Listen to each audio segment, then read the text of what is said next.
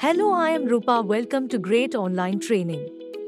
Whether you are a medical professional, a student, or just someone interested in the behind the scenes work that drives healthcare advancements, this video is for you. Today, we're diving into the world of clinical data management, or CDM, an essential part of healthcare that you might not be familiar with, but that plays a vital role in improving patient outcomes. What is clinical data management?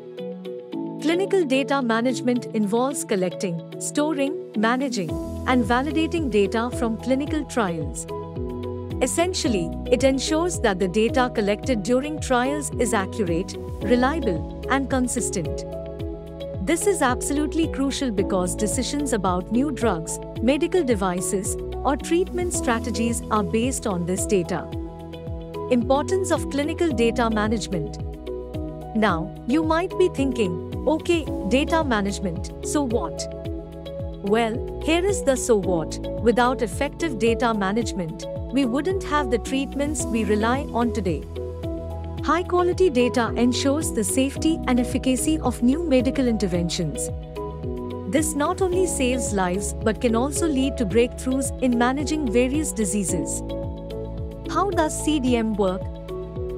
Clinical data managers design and manage databases for clinical research projects, monitor and validate the data, ensure compliance with regulatory bodies, manage security and confidentiality, and prepare data for statistical reports.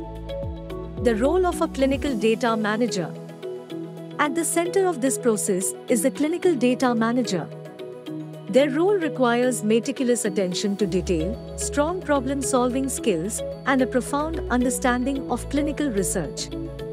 They are the gatekeepers of data quality, ensuring that researchers can trust the data they are working with.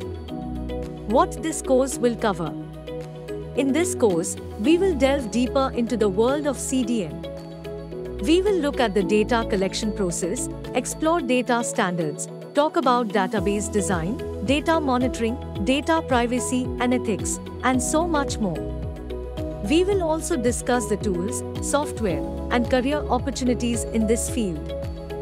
So, if you have ever been curious about what happens to the data from clinical trials, or you're considering a career in this field, stick around. We have got a lot to cover, and we're excited to have you on this journey. See you in the next video.